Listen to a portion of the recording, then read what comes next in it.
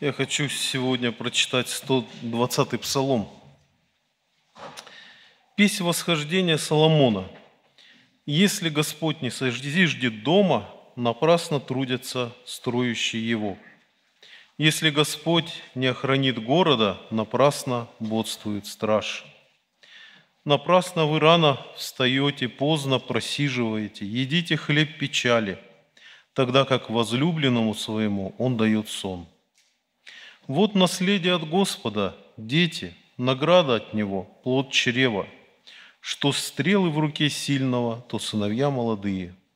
Блажен человек, который наполнил ими колчан свой. Не останутся они в стыде, когда будут говорить с, рога, с врагами в воротах. Ну, праздники жатвы у нас вовсю идут. И в пятницу у нас была молитва о семьях и молодежи. Э, и у меня такие, получается, ну, темы, э, тема и что касается ну, немножко семейную тему и жатвенную тему в одно объединить. Мысль такая, что дети, да, тут написано, что это плод. Это тоже наш, э, наш плод. И э, который э, мы выращиваем для Бога, чтобы в свое время они тоже стали на замену и как бы прославляли Бога уже вместо нас за нас. Но мы знаем, что дети, они бывает достаются сложно. Сложно бывает достаются, и сложно, когда ты воспитываешь, когда много сложностей, когда ты растишь их, трудностей. И много очень терпения нужно для этого. Ну, я попутно, попутно прочитаю еще у Якова место. Итак, братья, будьте долготерпеливы до пришествия Господня. Вот земледелец ждет драгоценного плода от земли, и для него терпит долго – пока получит дождь ранний и поздний. Долготерпите и вы. Укрепите сердца ваши, потому что пришествие Господня приближается. Ну, почему я затронул эту тему? Что, знаете, вот бывает время, время, когда ты долготерпишь, когда ты испытываешь зной, земледелец да, испытывает зной, э, холод, да, и э, трудности, переработки, и ему нужно терпение. Я вот сейчас, мы въехали в дом, а у меня обустройство дома не заканчивается. И нужно много терпения для того, чтобы, много усилий, чтобы этот дом обустроить. Много очень нужно терпения. И порой, порой с отчаянием каким-то сталкиваешься. Но придет такой момент, что ты там уже что-то получается у тебя, и ты смотришь, о, результат какой-то есть, и ты радуешься уже какому-то результату, да? И вот так вот у нас в жизни бывает, что э, я вообще человек, который, ну вот, был такой человек, который боится ответственности вот, с юности, боялся ответственности, боялся ответственности взять на себя э, заботу о семье, но понимал, и совесть подсказывала, что это нужно. Что когда вот дети, как, как что, как все это будет. Очень было неизвестно, очень было ну, всегда страшно, как, как буду семью обеспечивать? Но вот интересно, тут написано, что если Господь не созиждет дома, все, слава Богу, да? Как бы года идут, а в результате мы видим плод, что если ты с Богом, что все оно получается. все, Бог заботится и посылает средства, посылает э, работу, посылает здоровье необходимое, чтобы все, чтобы дом созидался. Так много, конечно, можно из жизни вспомнить, да, вот у нас много молодых семей, сейчас церкви, и, наверное, семьи, они, как сказать, я думаю, что, может быть, они не так, что, ну, как-то боятся, боятся ответственности, может быть, они, наоборот, очень смелые и двигаются вперед и ничего не боятся, но, слава Богу, если оно так происходит. Знаете, вот э, у меня тоже сначала первый ребенок появился – Потом думаешь, ну,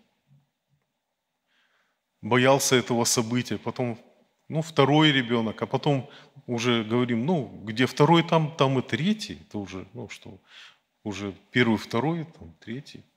А когда было трое детей, ну, это было самое такое время, мне кажется, беспроблемное. Трое детей растут себе потихонечку. Квартира есть, появилась квартира – Э, квартира есть, дети растут. Только одна проблема появилась, что думаем, только трое. И переживание появилось, а что у нас больше раза не будет детей. Так переживали, молились, что только, только лишь трое.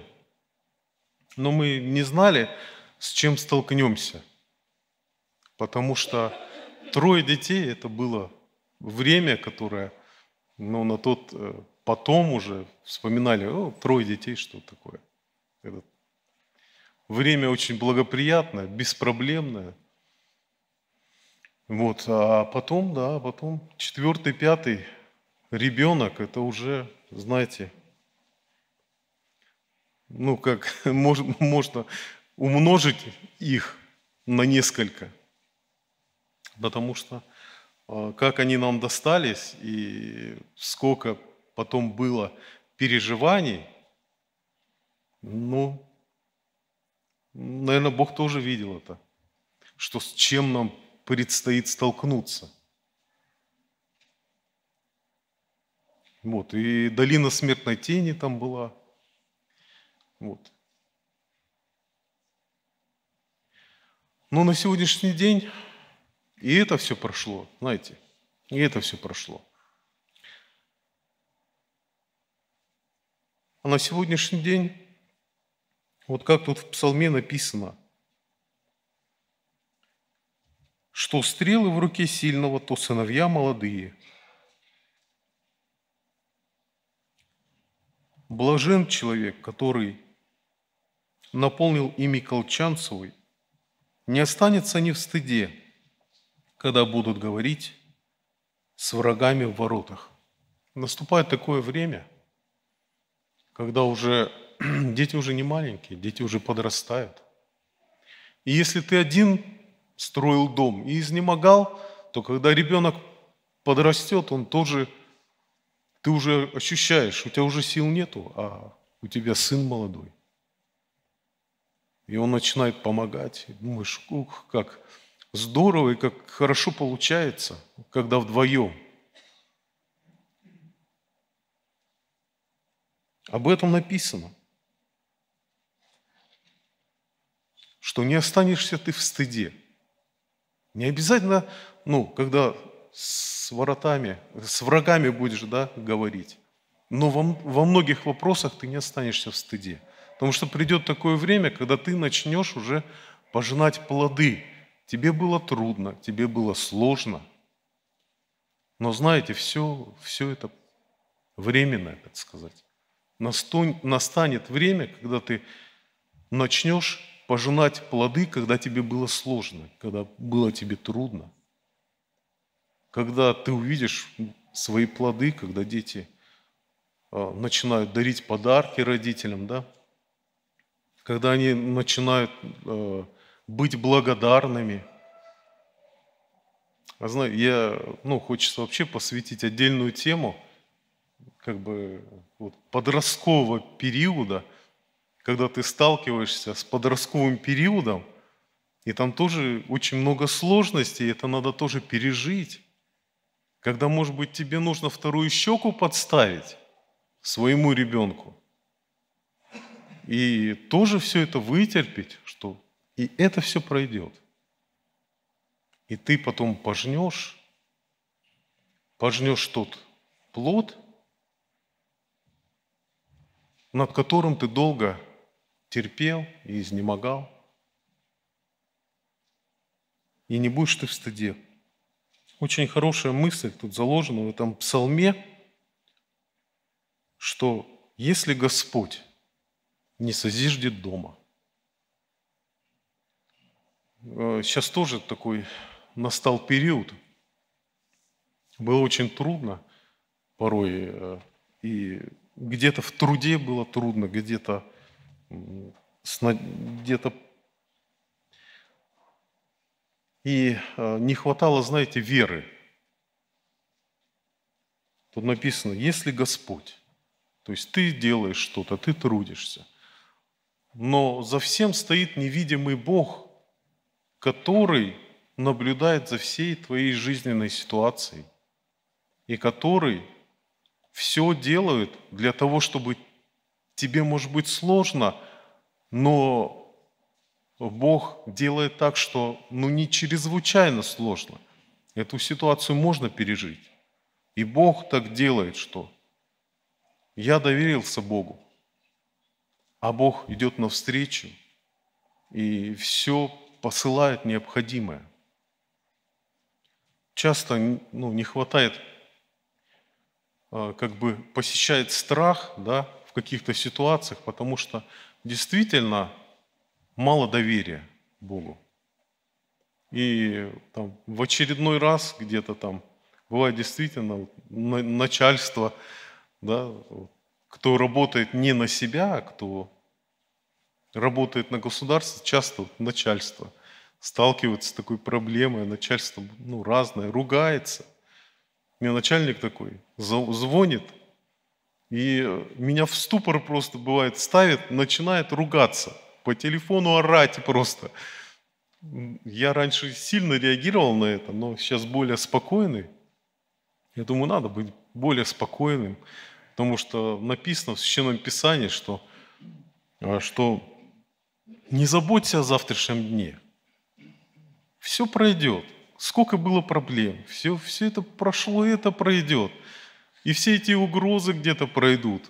И потому что Бог он смотрит ну, на тебя и смотрит на эту ситуацию, все пройдет.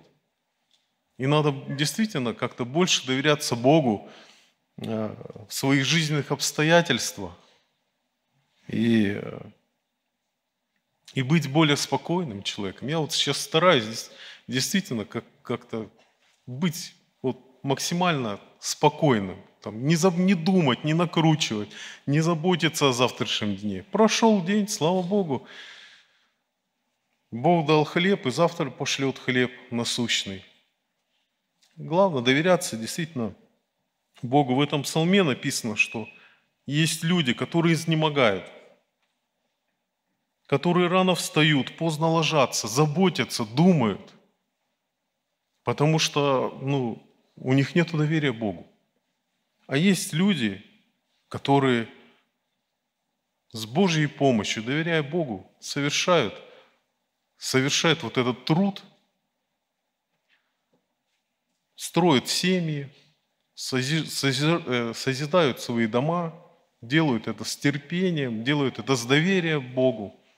И те, кто доверяет Богу, они не останутся в стыде.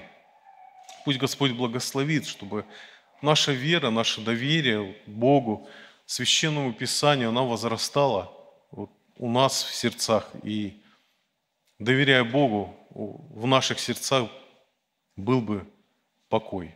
Пусть Господь благословит. Благословит свое время пожать добрый плод. Аминь. Помолимся.